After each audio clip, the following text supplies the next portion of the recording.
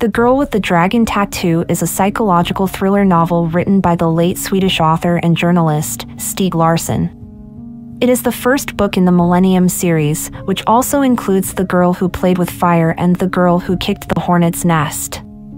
The story takes place in Sweden and starts with Mikael Blomkvist, a journalist and publisher of a magazine called Millennium, being found guilty of libeling a wealthy businessman in a story. Blomkvist is sentenced to three months in prison and a hefty fine. Just before he is sentenced, he is approached by Henrik Vanger, a retired industrialist who wants to hire him to investigate the disappearance of his niece, Harriet, who went missing 40 years ago. Blomkvist accepts the offer and begins his investigation. As Blomkvist delves deeper into the investigation, he discovers that Harriet's disappearance is connected to a series of gruesome murders that have occurred in the Vanger family over the years. He also discovers that the Vanger family has many secrets and that they will do anything to keep them hidden.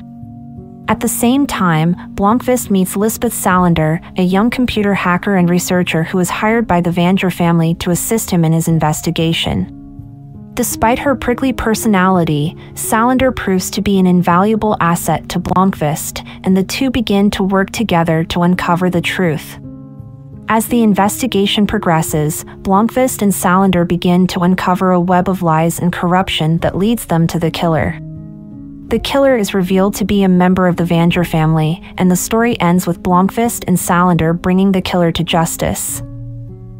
The Girl with the Dragon Tattoo is a gripping and suspenseful novel that explores themes of power, corruption, and redemption. The book is known for its complex and well developed characters and for its intricate and twisting plot. The novel is also notable for its exploration of the darker side of human nature and the way in which society can create and enable criminal behavior. The book is a bestseller and has been adapted into several films.